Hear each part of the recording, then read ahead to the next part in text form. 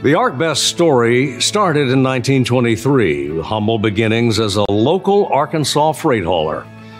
Well, today, ArcBest is a logistics powerhouse with more than 15,000 employees across nearly 250 locations that help keep the global supply chain moving.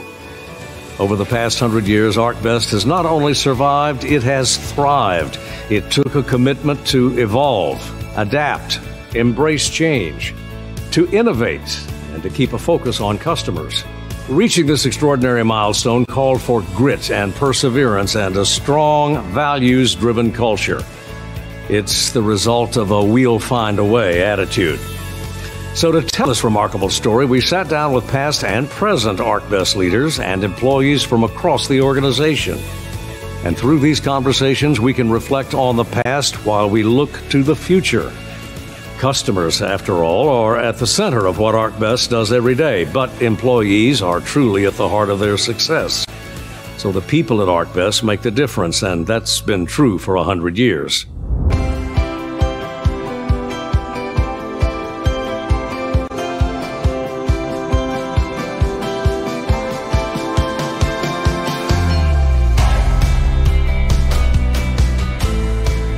Are graced with the leadership, past and present. And why don't we begin by introducing ourselves?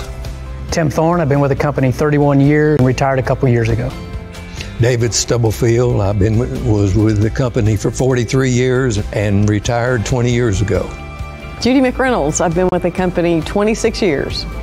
Robert Young, I was with the company for 52 years, retired in 2017. Bob Davidson. I was with the company for just short of 38 years, and I've been retired for 13 years. Wes Kemp, I was with the company for 42 years and retired 11 years ago. We are gathered here with some of the current leaders of ArcBest. So I'm Steven Leonard. I'm the Chief Commercial Officer and President of Asset Light Logistics. I'm Michael Johns. I'm the Chief Legal Officer, and I've been with the company for 16 years. I'm Dennis Anderson. I'm the Chief Strategy Officer. I've been with the company nearly 20 years. Matt Beasley, Chief Financial Officer. I've been with the company a little over a year. Erin Gattis, I'm the Chief Human Resources Officer, and I have been here 24 years. And I'm Seth Runser, the President of ABF. I've been here 16 years. I'm Michael Newcity, President of ArcBest Technologies and Chief Innovation for uh, ArcBest, and I'm joined today by the leadership team for ArcBest Technologies. Hi, everyone. I'm Craig Wahlmeier. I'm the Vice President of Technology Research and Development. I'm Douglas Lindemann. I'm the CIO and Vice President of ArcBest Technologies. Erica Brigance, Vice President of Data Science. Kevin Yoder, Vice President, Innovation Management and Strategy. Kevin Taylor, Vice President and Chief Technology Officer. We're going to look back on the history of a company that began a century ago and which is now known as ArcBest. Do you have the chance to get together as a group that often? Not that often. Not, not often enough. Some of us are Texans. Almost three quarters of a century ago, your father bought this enterprise. Remember that time? Yes, I was 11 years old. uh, I was at summer camp, and my mother wrote me a letter and said, Your dad has bought a trucking company. And I thought, My gosh, why did he do that? And he bought the company and immediately began to grow it with acquisitions. But it was uh, a tough way to grow because these companies wouldn't be for sale unless they were broke. You couldn't buy a company that was profitable. So every time we bought one, we had a turnaround situation. Uh, when we bought Delta Motor Lines uh, early on, uh, they were losing money, and the Interstate Commerce Commission would not let us merge in because they, unless they were profitable. And it was a big challenge to convert over and get them making money uh, and where we could move on forward. Stubblefield's being uh, very bashful about that. He was one of the guys that made it happen. Uh, three men were appointed uh, at that time to build a model of the company to determine what we need to do to, to make Delta Motor Lines profitable. They built a model, a very early computer model with 80 column punch cards. But they had a good cost system and it worked. It, it would produce the actual numbers when you ran it against history.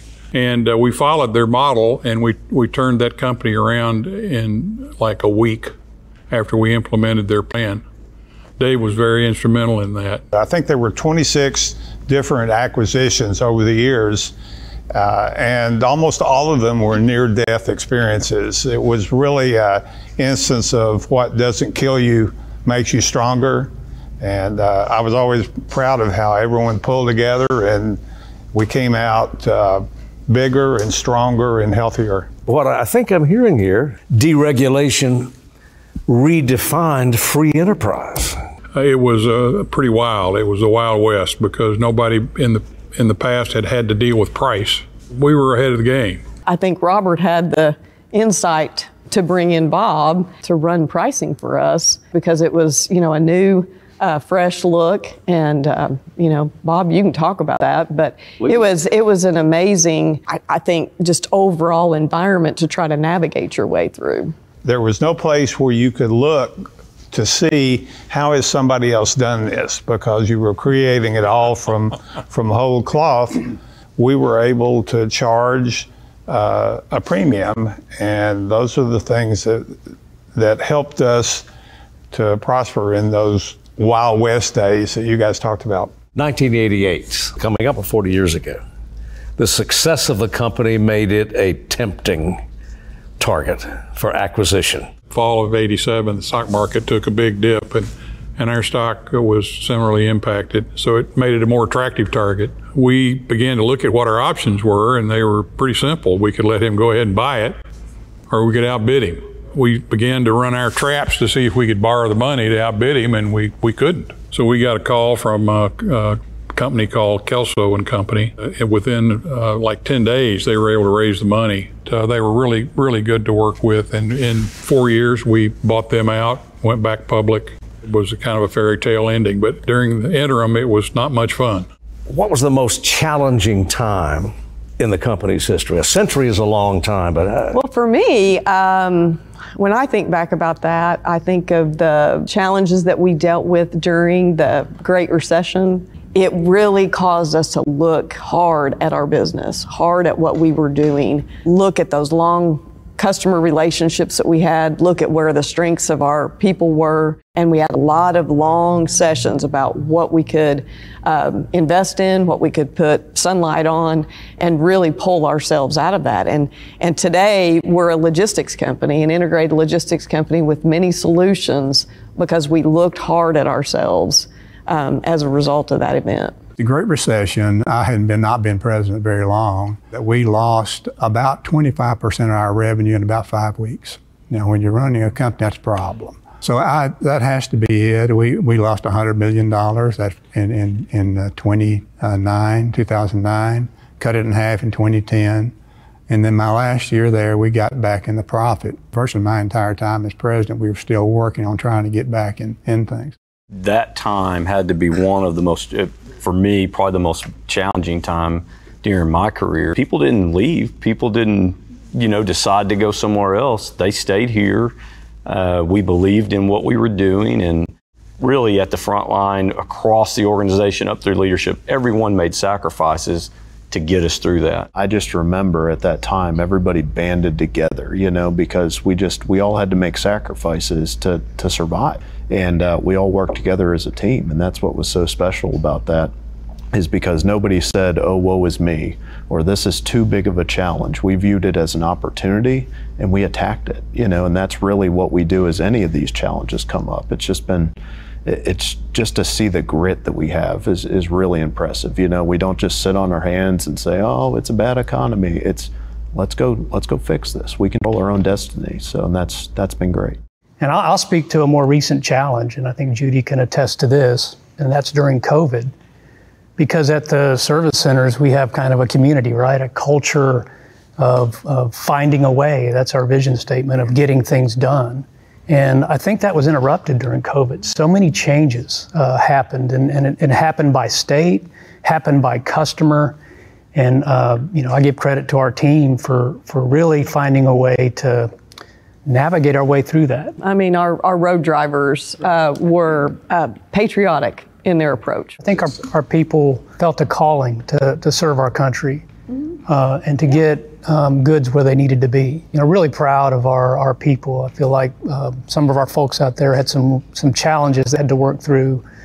but truly heroes. Uh, we're still finding a way to do business. And then at the same time, we've got our drivers and our dock workers out on the front lines, you know, keeping the global supply chain moving. So I just think of that time and I think of all the highs and the lows that went with it. Yeah, it was something new every day and it was all uncharted territory. So it was, uh, it was a really, really interesting and challenging time. You know, we did not have a lot of experience with people working remotely. Most people were in an office and and for the safety of our employees, a lot of them went home to work and we had to work through those challenges. But I think what is always reassuring to me is that the company invests in our people and when things turned around really made that right for our employees as yeah. well. And so I think it's important not just to talk about the challenge, but how we react to that and how we invest in our people for the long run. You know, luckily we had recently invested in Microsoft Teams and um, you know, if, you, if this had happened in you know 2010 timeframe, it would have been a different experience. I was traveling at one of our service centers, and that's when the news came out. And immediately, where all of our heads went was our people. You know, how do we protect our people? I mean, there's so many decisions we made that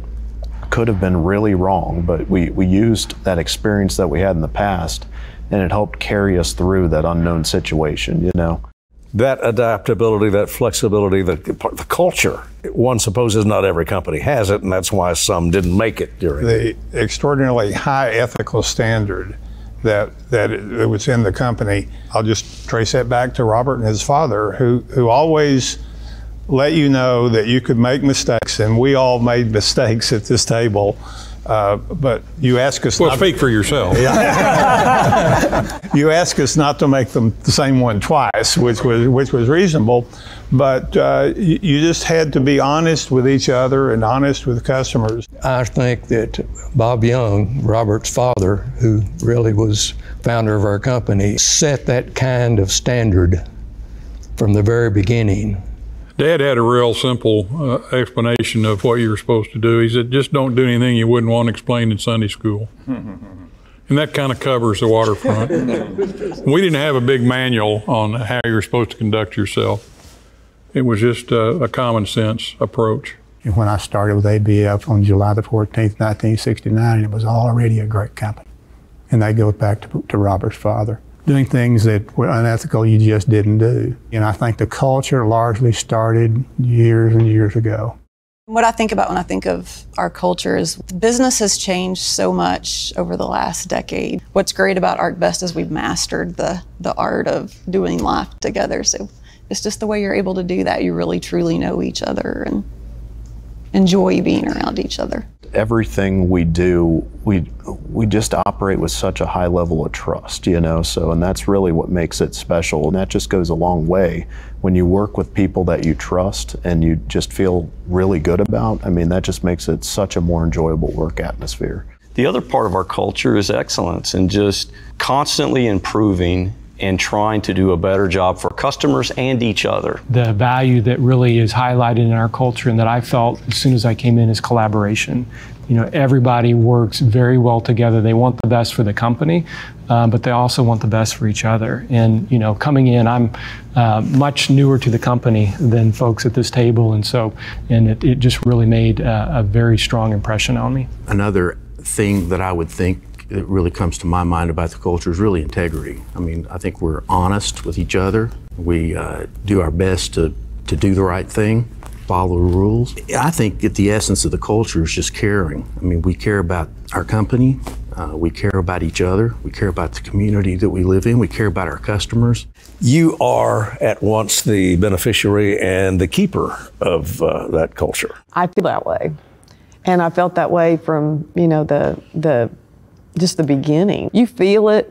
Um, we've all been in that leadership role, you know, for our company, and you feel it, and you see what's good about it, and you never want that to change. Difficult to think of uh, any industry, any enterprise that doesn't shapeshift uh, during the course of its existence. What are some of the changes? How did this industry change in your time? Oh boy, it changed a lot. When I started working in the summers at the Fort Smith uh, Service Center, a big change was we had four wheel carts. You could put more on them. and then finally, we got a forklift. In those days, almost nothing was on a pallet, so forklifts were not very usable. We would move crates down the dock with by putting pipe under them, and rolling them on pipe. Now we have a forklift for every employee on the dock, uh, pretty much. Well, the, the big thing, it's in technology again. When you could do something new, I was always trying to find a way of how can we do this within the company. And when I started with the company, they already had that uh, study going on to start freight billing electronically. And uh, it just took off from there, and I, I, I enjoyed every minute of it in terms of finding new ways and more effective ways of doing things along those lines. Technology has really changed our company and changed our industry a ton over the years. Um, but what's changed uh, or, or is really the our marketplace, our competitors. You know, we just done a great job of, of surviving uh, throughout the years uh, because of that that marketplace. And I think we do that because of some of the things we talked about, our culture, how we serve customers, how we have relationships, our quality process. Um, but that's really changed over the years in your time as CEO? Does does change warp speed? Does that fit? Or you know it does. I totally agree with uh, the technology comments that have been made, but where we see it. Um, in addition to what's been said, is is with the with our customers, with shippers, they can do rate comparisons, they can do service time comparisons, they can really have the visibility on the choice that they're making like never before.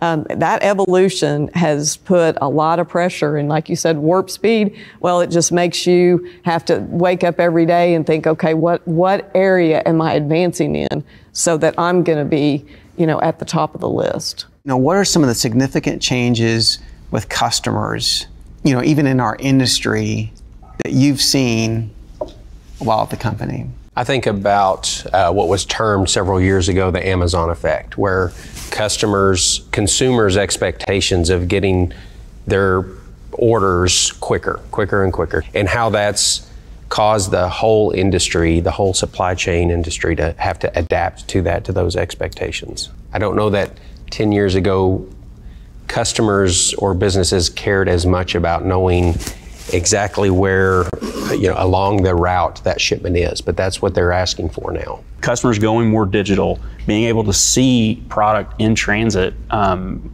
more more readily. That's been a that's been a big time focus. Specifically, one of the large changes with the idea that the information that's moving with the product maybe is as valuable or more valuable than the products that's moving itself. And so that data and the, the, the analytics that are around supply chain and our business, um, they allow you to do things just so much more intelligently. As we turn to the next decade, um, those are the those are the kinds of things that are going to make us smarter. They're going to make us uh, more efficient, more productive, and I think that's a that's a that's a slow burn on revolution that's that's really happening right now. Change, innovation, flexibility. Uh, we'll find a way. Mm-hmm pretty good motto. Right. But how do you make it work? How do you how do you find a way?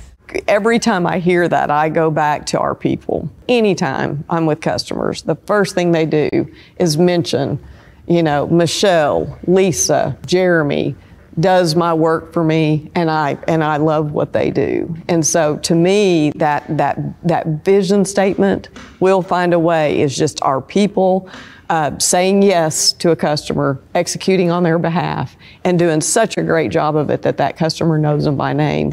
And, and I'm just always so impressed with our people. The phrase, we'll find a way, actually came from a customer saying that to us about us and it just manifests itself in our people's actions. The way you all were having to find a way. You had to, but you, you would draw in your resources to accomplish what we need to do. It's been around a long time. It's it's our culture. It's what we do. We find a way.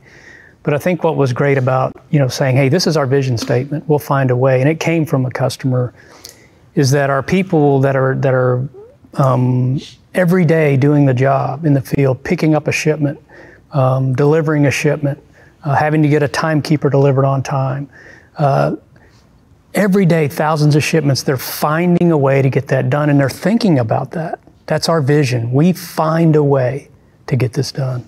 I think not only the, the grit and the perseverance that you've been hearing about, but also an innovative mindset, knowing that things will change embracing change and having uh, open mindedness about that. There's an element that, that we haven't talked a lot about, and that's the uh, role of IT, the way that technology has framed our relationship with customers. Uh, the company kind of developed these tools for our relationship with customers. I mean, we were the, the first company to have uh, a freight rating based on the personal computer. We had the first internet site, and it was always robust. And we had, you know, guys like uh, Chris Burton and Leo Sherram and Michael Newcity uh, who were really pioneers in that area. Someone posed the question what are we going to do with this new thing called the World Wide Web? It started off as the kind of like the wide yellow pages. It was it was uh, people were taking their marketing materials and they were posting them online, but there wasn't a lot of interactivity. Right. And I think the vision that was cast in that office was, how can we use this as a tool or a medium I mean, we weren't using these words like connect and positively impact, but that was kind of the idea was how can we um, reach customers better? Mm-hmm. And we kind of went into this uh, arms race yeah. where we were actually building technology that what that wasn't even available. That was to me uh, one of the, I think one of our big accomplishments. We decided to build our own imaging system and to capture all the bill ladings and delivery receipts electronically from the field as opposed to them being mailed in. We, we just sat down at one day and said, you know, I think we could do this.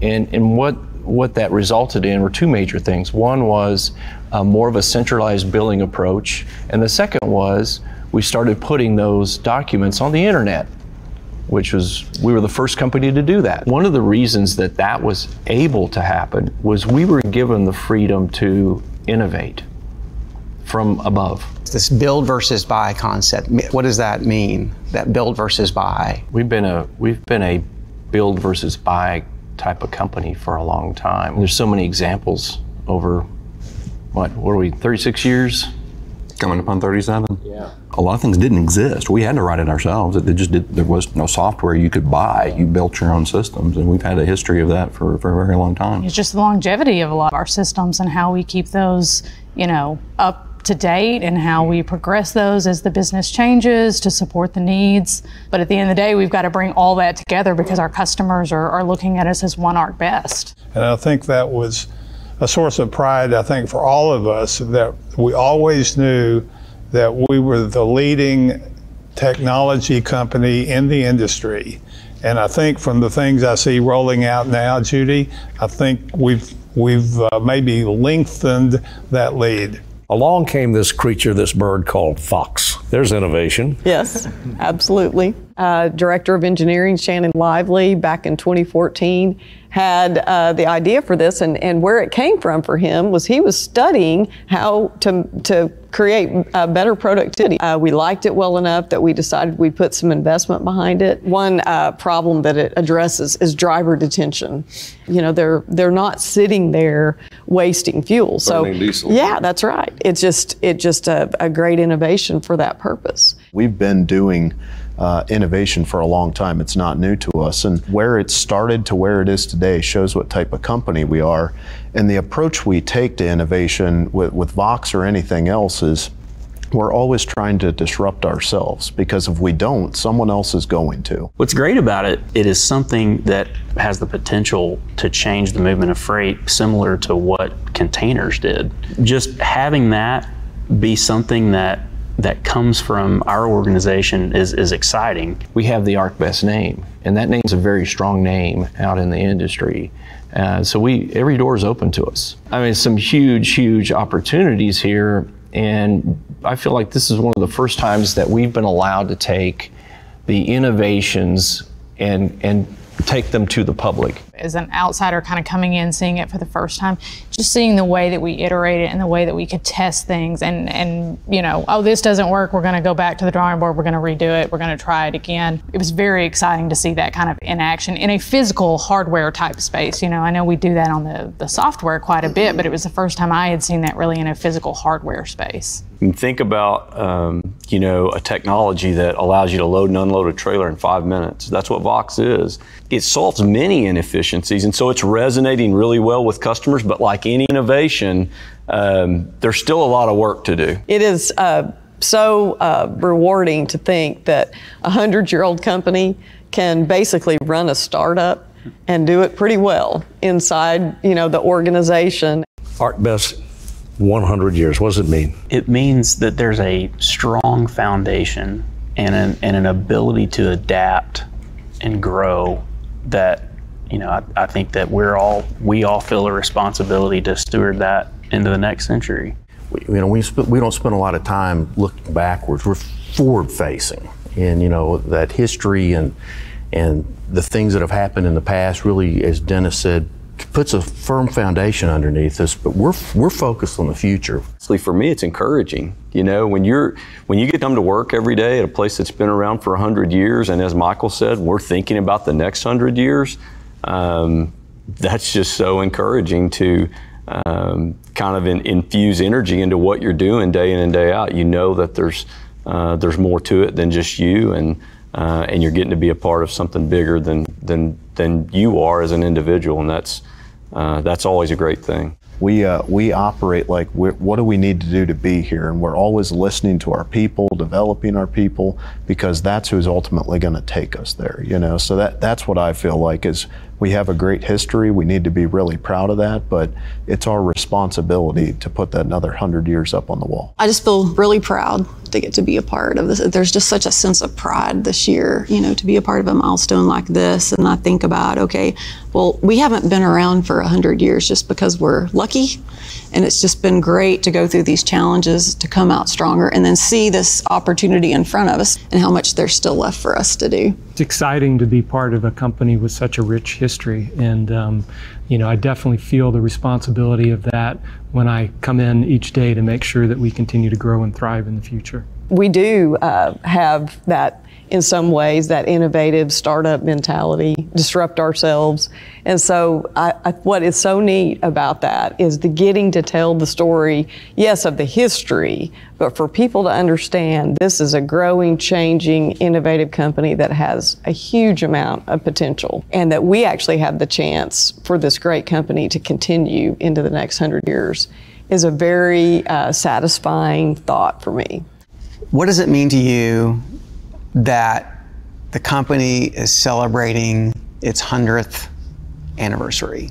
You know, how many companies actually make it to 100 years? Not many. Being part of the part of a company that's that's celebrating 100 years, it's pretty amazing. So it's one thing to be a 100-year-old company. It's another thing to be a 100-year-old company that's not in decline. And I feel like we're a 100-year company, but you know, we're, we're well capitalized. We we're in a good financial position. We have a good strategy, and that feels good. It, it's because it, it tells us more about the next hundred years. What it tells me is that we've had a long line of great employees and great leaders who have made great decisions. You know, and it's not that we made all the right decisions, but clearly there was groundwork laid a hundred years ago that has got us to here. I mean, I don't think we can discredit that those decisions have been made along the way. Otherwise, we would not be in this situation. You're starting your second century. what does that mean to you? What does that mean to you? Well, it means that uh, these guys have planted, planted a lot of shade trees along the way, and our predecessors did too, that we're living under today. Uh, they, they, they built the company uh, and made it possible for the people that are there today to, to continue. I think we all recognize that uh, our company will be doing things uh, going forward uh, that we really don't anticipate at all. And it'll be different from the things that we do now. Uh, I have no doubt that this company is going to con- continue. Uh, just looking for, especially with Judy's leadership that I've seen. When you think about you know the next 100 years and how we how we last another 100 years, Judy, the work that that we did and, and you've done, and and really developing our strategy and now executing that strategy. Uh, really, uh, it doesn't surprise me that the leadership teams talked about the three things that, that are that's really needed, and we, we've talked about this with our team uh, to last another hundred years. and they and they work together, and it's and it's growth. We talked about hey, we have to grow, we have to innovate, and we've talked about innovation here, and we have to be more efficient. And so uh, I agree with Wes. I'm really confident in, in, in where we're headed, and I know Judy's going to lead us to another 100 years. I think the most interesting thing, and it really is an encouragement. Uh, when I started the company, uh, we had about 700 employees, and when I retired, we had, and that was 20 years ago, we had 13,500. Well, we have now, we're talking about four or five billion, and I bet we don't have a lot more employees than 13,500, which. About 15,000. Okay, so the enormous growth that has taken place, it means that there's the right things are taking place to, uh, to grow the company. You know, I'd love uh, to bring my father back uh, for just 15 minutes and show him where the company is today. The the he died in 1973, and I think we did 60 million dollars in revenue that year. And I think Judy racked up what about five billion last year. Uh, company's really grown over the the the last 40 or so years uh, since Dad passed away, and I'd love to show it because he would really be happy about it. He he wanted to see it grow. He loved seeing the people grow the growth of the company has been phenomenal, and particularly it's accelerated since Judy's been in charge. Judy McReynolds, you're the Centennial CEO. fortunate, very fortunate to be in the in the role in the special year. It's what a does very it mean to special you? year. Oh, it, it means so much. I mean, I you know what I want um, everyone to understand. Um, you know, I feel like we're a company that sees uh, the long-term opportunities, and we're willing to be patient through those to to see the result. What I love about our company and the leaders that are around the table is, you know, many of them taught me that you you know you have to be patient. There's going to be those obstacles, there's going to be those challenges, but if it's uh, an idea worth investing in, if it's growth that's worth having, you know, just just do the right things. And sometimes, uh, when it's most challenging, you just have to take that next step. You're just making that next move, and you know, be patient for the right things. And I think when you're a company that is the age that we are, and you know, um, I just think about how exceptional we are, how exceptional our employees are, being in uh, the hundredth year that it's it's going to take that um, that disciplined approach to do what's right, you know, to set the course of longevity, you know, for decades to come. What's so interesting about what that next 10 years looks like, if we stay close to our customers, they're going to guide us. They're going to tell us what they want. They're going to tell us what we need to do. We just have to listen. For half those hundred years now, I've written about the company and its founders and their successors, about its evolution as a global enterprise, about its trials and its triumphs. ArcBest has never been less than an interesting story, and more often than not, it's been a compelling one. And as its second century begins, there's nothing to suggest that ArcBest won't continue to hold Arkansas's attention and the world's.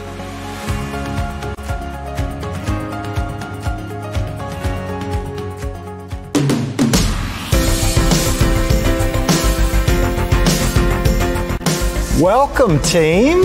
What a privilege, right? Absolutely. We added up the years, and we've got 259 years around the table here at the company. That's pretty amazing, isn't it? There is a big difference with this company. I mean, you can tell by the people. And I think our people here are the difference of what makes ArcBest so unique and why we've lasted 100 years. We'll find a way. And it's, it's, it's a true thing that we truly believe because we live and die by that. So it's, it's, it's a true statement of who we are. We're not just moving freight from A to B. Uh, we're, we're not. We're, we're coming up with creative solutions that could change the industry. we're doing something good here, and that's why we've been around for 100 years. I think it's a great accomplishment. I think it's awesome, but it also just feels like this is just the beginning of something great.